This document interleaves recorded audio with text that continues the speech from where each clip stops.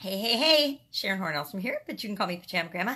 In case we haven't met yet, go and put hashtag pajama in the comments below so you know it's the first time you're being exposed to the Pajama Grandma. Today, in this episode, we're going to chat about what an actual plan, because if you have been exposed to me at all in the past, you realize that I produce a lot of content, I put a lot of stuff out, and it I think that it's informative and helpful to people, but it hasn't really been delivered in a consistent, structured way, unless I'm doing a 30 day challenge, which then it is on purpose and it is structured. And those I think have been um, really, really structured and well thought out.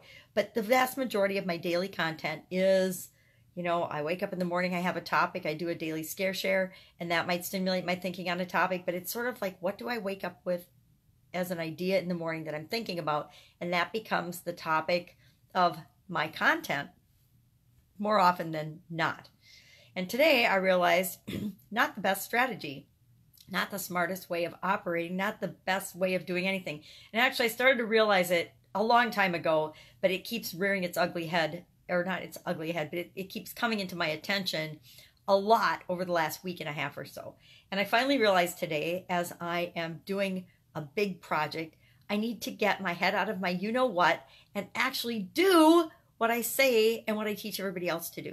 And instead of doing it half ass, I need to do it with my whole ass and I need to jump in with both feet and do it right. And that involves spending a little bit of time sitting down, planning, and thinking about what I'm going to deliver over the next probably, I want to say 60 days, but maybe it won't be 60 days. But going forward, it's going to be a lot more structured and a lot more consistent in my daily activity. And I started to grab my handy dandy notebook and actually map out and grab a piece of paper because I still plan things the old fashioned way. I just grab a piece of paper and I just start going down and brainstorming the topics that I'm going to talk about.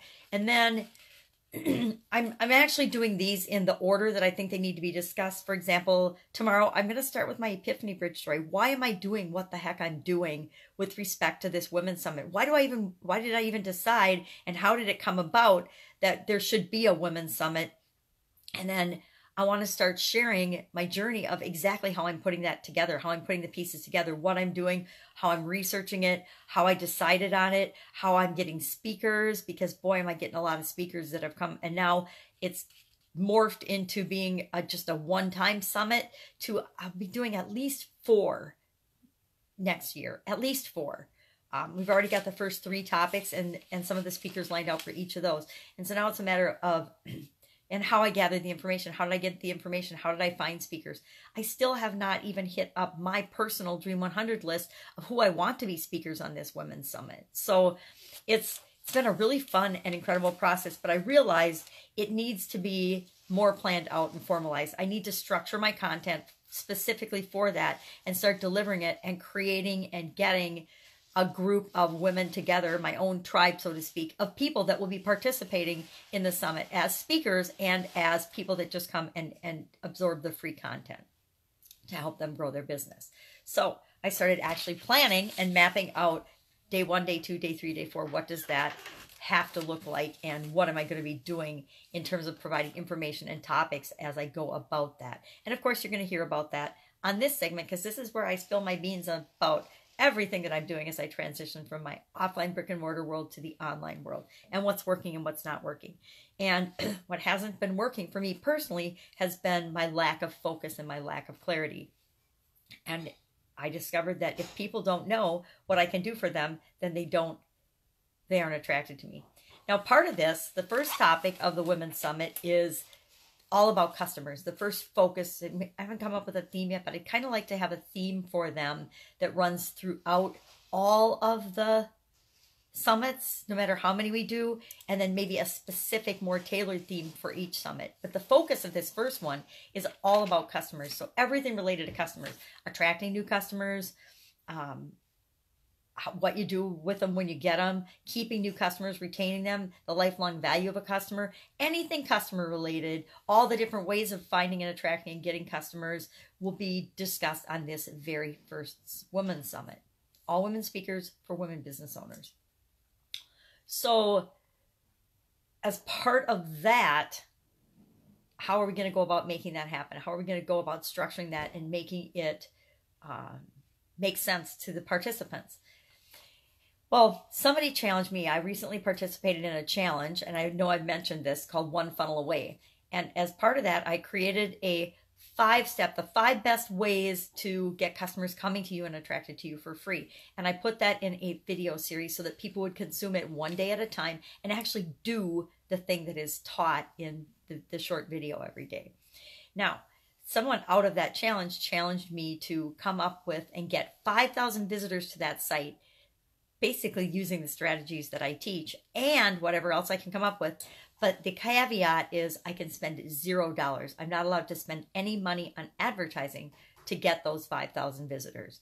So, as part of that journey, I'm going to be sharing how I go about doing that as well over the next, I'd like to do it in 30 days. So, or sooner, of course, but I'm sharing how I'm rolling that out and how I'm doing that and how I'm actually getting those 5,000 people to the site to this this landing page, this free offer, because it's free to get this.